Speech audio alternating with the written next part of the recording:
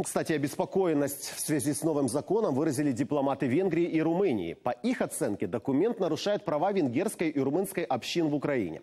В заявлении МИДа Венгрии принятые нормы о второстепенном статусе языков нацменьшинств вообще названы «ножом в спину Венгрии», а решение украинских депутатов, я процитирую, «постыдным и противоречащим европейским ценностям».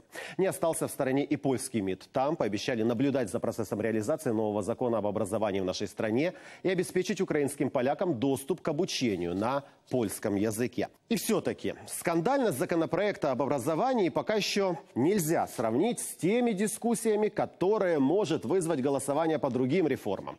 Вот скажем, на очереди у депутатов реформа здравоохранения. Предложенный Минздравом вариант в большинстве политсил пока поддержать не готовы. И это еще мягко сказано. Многие политики называют этот вариант реформы чуть ли не демонтажом украинской медицины. И если его начнут продавливать через парламент, дело может закончиться еще и массовым массовыми протестами. Судьба пенсионеров – другой болезненный вопрос. Тут политикам придется поспешить, ведь уже с 1 октября Кабмин обещал повысить пенсии в Украине. А для этого нужно позитивное решение в Раде как раз по правительственному варианту реформы. Впрочем, с пенсиями Кабмину обещал помочь президент. Об этом он сказал в четверг, выступая в Верховной Раде. Уряд зробив перші кроки з зарплат вчителям і лікарям.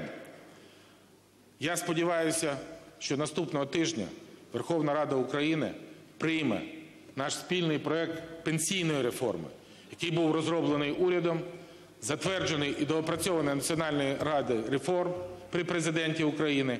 Дуже великий внесок зробили ви. Я дуже сподіваюся, що це дасть можливість восени для значної частини пенсіонерів збільшити пенсії.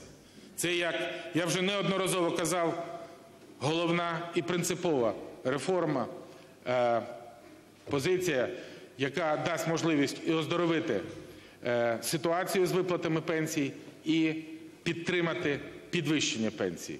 Я ще раз наголошую, я є учасником цього процесу і повністю це підтримую.